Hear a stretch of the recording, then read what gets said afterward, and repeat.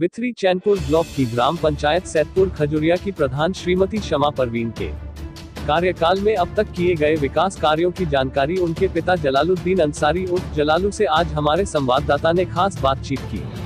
तब प्रधान श्रीमती शमा परवीन के द्वारा अब तक कराए गए विकास कार्यों की जानकारी उनके पिता जलालुद्दीन अंसारी ने अब तक किए गए विकास कार्यों की विस्तार पूर्वक जानकारी के अलावा भविष्य की क्षेत्र पंचायत के लिए जो विकास की योजनाएँ बनाई है। उसकी विस्तार पूर्वक जानकारी देते हुए बताया। बरेली से रफी मंसूरी की रिपोर्ट। जलाल अंसारी। जलाल अंसारी साहब। ये कौन सी ग्राम पंचायत पड़ती है? सैदपुर खजुरिया। सैदपुर खजूरिया। यहाँ प्रधान कौन है?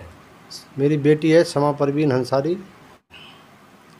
मैंने सीसी रोड करीब लगभग मेरे 45 रोड सीसी रोड कराए मैंने और 28 कमरे आवास मंजूर करा दिए मैंने गरीब आदमियों के।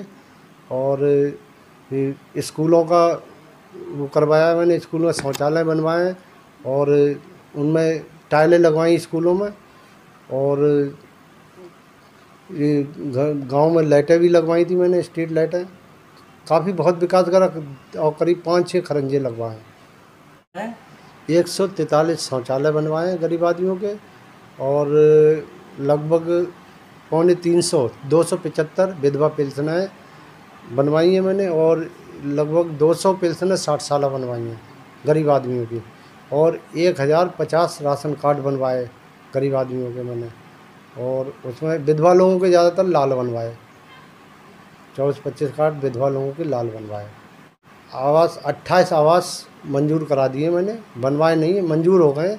वो आगे एक आध महीने में बन जाएँगे पहला नंबर तो मेरा शादी हाल का बारात घर का प्लान है, बारात घर बनवाऊँगा। और ये वाटर जो वाटर टैंक जो है, ये लगवाने का प्रोग्राम अच्छा पानी, स्वच्छ पानी, ये लगवाने का प्रोग्राम और आगे मुझे समुदाय केंद्र जैसे अस्पताल का भी हो, बनवाना है मुझे अस्पताल का भी है। और दूसरे, मैं ये कोशिश कर रहा हूँ, मेरे यहाँ high school, junior high school तक है, और मैं सोच रहा हूँ आगे हाई स्कूल हो जाए, इंटर कॉलेज तक मैं सोच रहा हूँ हो जाए, मेरे उसमें। ये मैं आगे के उसमें मेरा है।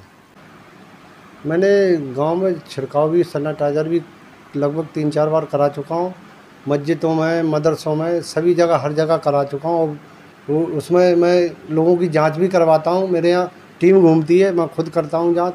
पंचायत घर पर बैठ के मैंने जाँचें करी कई लोगों की। और बाकी वो टीम भी घूम के पूरे गाँव की जाँच करती है। मशीन भी मेरे पास है, इसलिए मशीन भी रखता हूँ।